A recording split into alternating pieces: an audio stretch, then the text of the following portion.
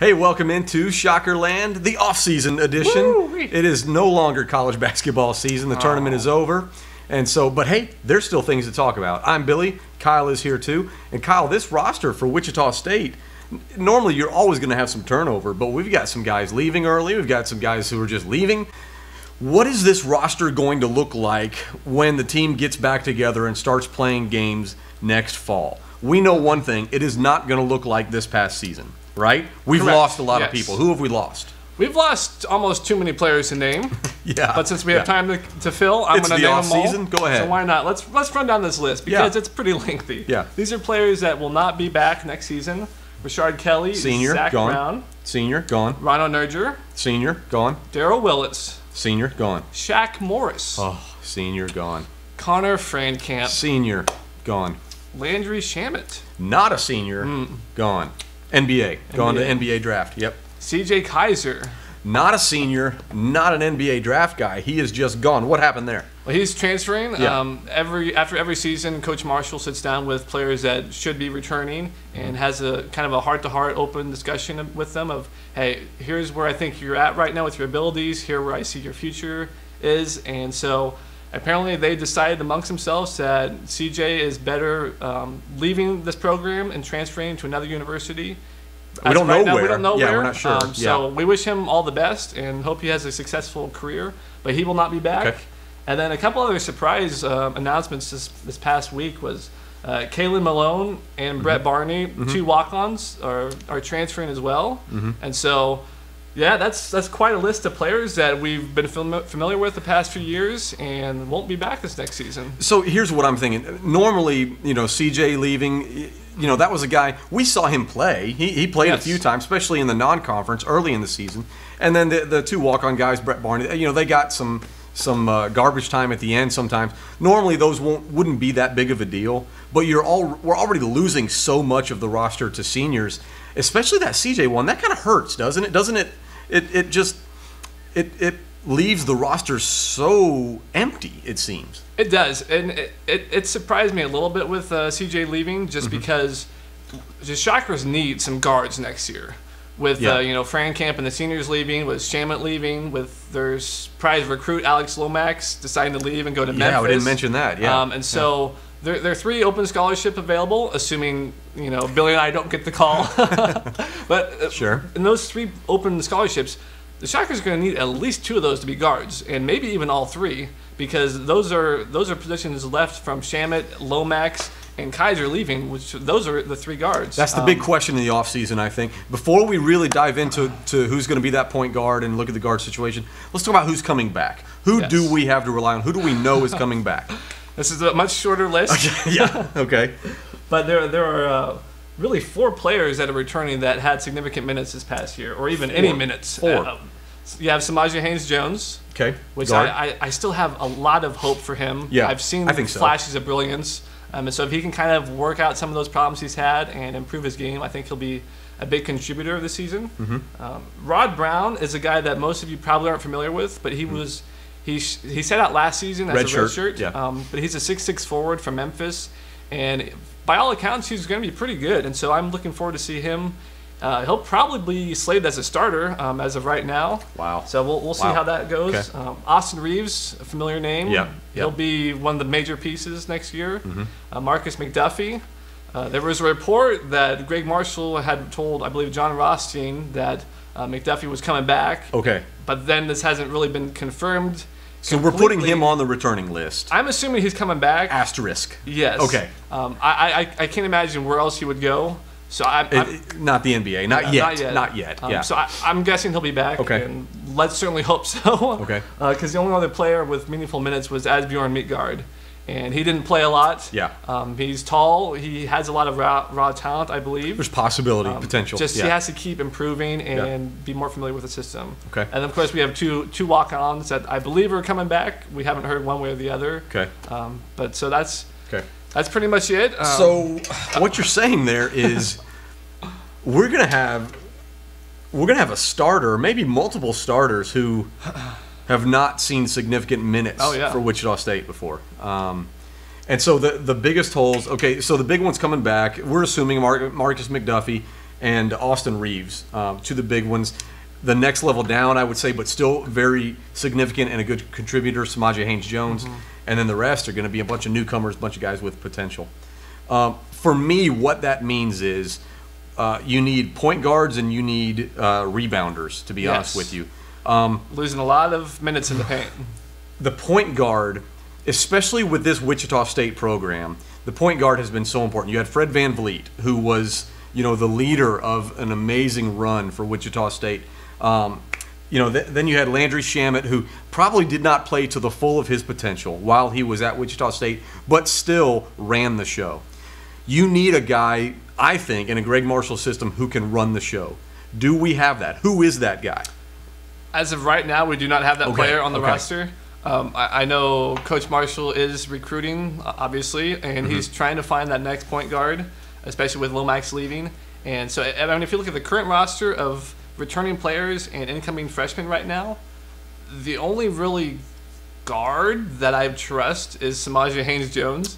And by Okay. some accounts, he's more of a two guard than a pure point guard. Yeah, yeah. And so I don't really see a pure point guard right now on this team, but it's still early to some degree. Um, and so I would say that I, I see Samajae as the top guy, especially the top returning guy Yes, for the for point sure. guard. Austin Reaves is is a good guard. He's not He's a not point point, guard, no. and I don't want him to be because I want him shooting. He's he's a scoring guard, a shooting guard. I think Samajae is a scoring guard too. Yes. Um, and so he Samajae will have to change his game, I think, if he wants to be that floor general type of point guard. because right now it's him. Right Yeah. now, by Yeah. default, he is the floor general. He is the the main guard who's going to run the show. And Okay. we saw some great games last year where he looked brilliant. He dropped 30 plus points a couple games, Mm-hmm. um, but other times he just looked flustered. And you know, it was his first year, so there's always growing pains. But uh, I, I expect more out of him this next season.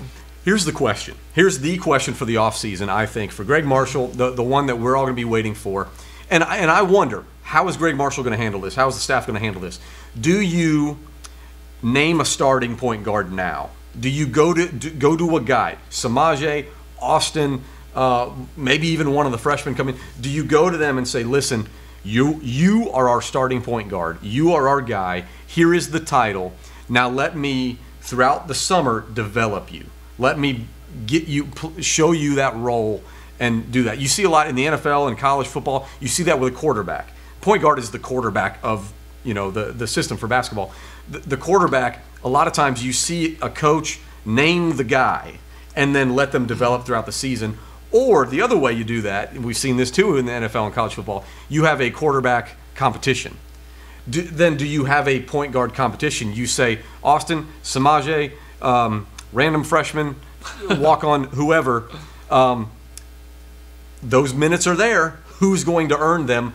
Sit back and prove it to me. You know, Right. show me, show me who it is. Which one do you take? What do you do? Uh, what I would do, or Yeah. what Coach Marshall would do. I don't care those are what two you would do. I do not care what I would care. What is Greg Marshall going to do? Greg Marshall makes no guarantees Okay, with his team okay. and his roster. Yeah. He he plays the best players. He plays the players who perform the best in practice, who do the right things. And so I don't see him saying, "Hey, Samajae, you're our point guard in this next season. Go get it." Okay. He'll say, "Hey, Samajae, here's a window of opportunity for you. Here's a chance to be that guy, to be the next VanVleet, to be the next Shamet." And he'll t- he'll tell him, "Hey, these are some things you do great at. These are some things you have to improve on."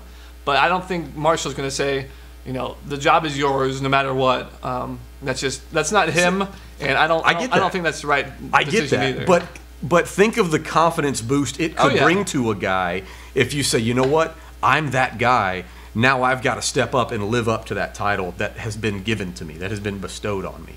no, that makes sense. I, I see that, and and I- I, you probably know how Greg Marshall operates better than I do.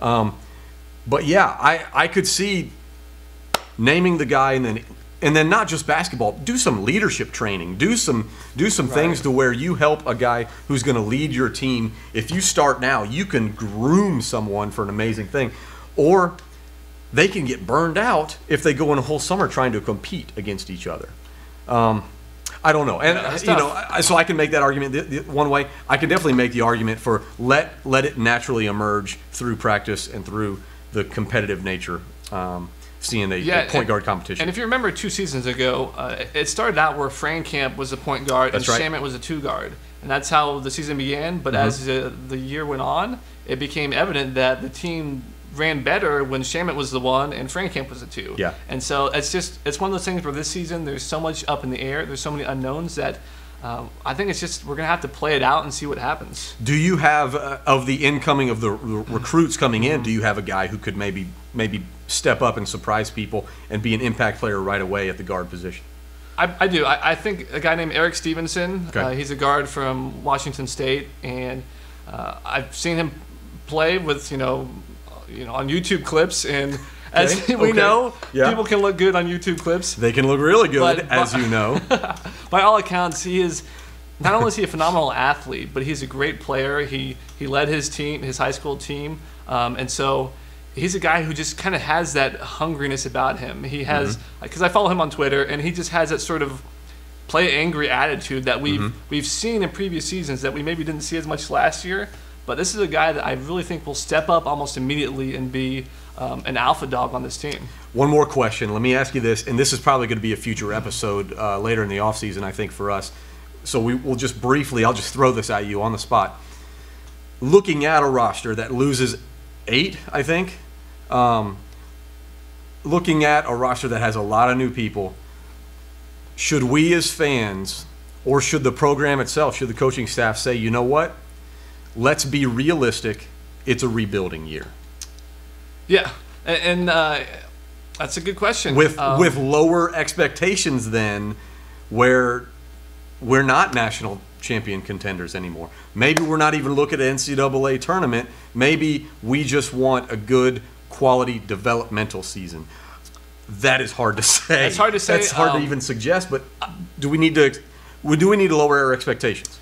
I think our expectations are already low for this next yeah, season. yeah, maybe, um, maybe. For right or wrong, but if you look at Marshall's history with this program, like since since they made that NIT championship game and they won that, Mm-hmm. this team has made the NCAA tournament every season.